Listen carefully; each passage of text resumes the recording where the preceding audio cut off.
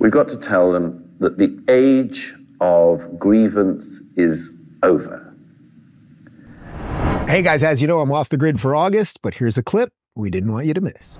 I believe very strongly today that people in America, Europe, Britain, the rest of the West are going to have to get serious very fast because something is going to happen.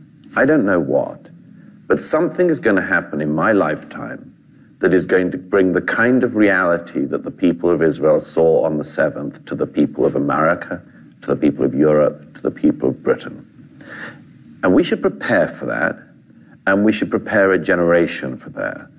And we should encourage them, not, they've got to break out of the thing they're in, these ignoramuses, the narcissists, the navel gazers. We've got to tell them that the age of grievance is over. The age of grievance will be over with an age of heroism and courage. And we should encourage that from everybody.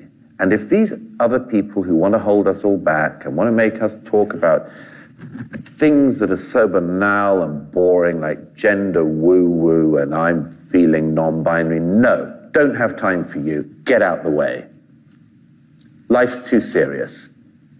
Get ready.